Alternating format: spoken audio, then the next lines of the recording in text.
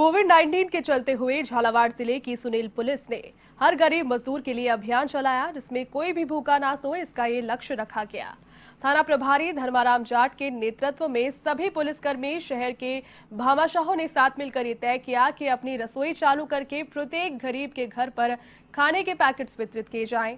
इसके बाद थाना परिसर में ये रसोई चालू की गई सुबह और शाम को 60 किलो आटे की पूड़ी और रोटी तैयार कर पैकेट्स का वितरण जरूरतमंदों को यहाँ पर किया गया इंसानियत तथा मानवता के इस पुनीत कार्य में सुनील पुलिस विभाग का कोई भी कोरोना योद्धा पुलिसकर्मी पीछे नहीं रहा।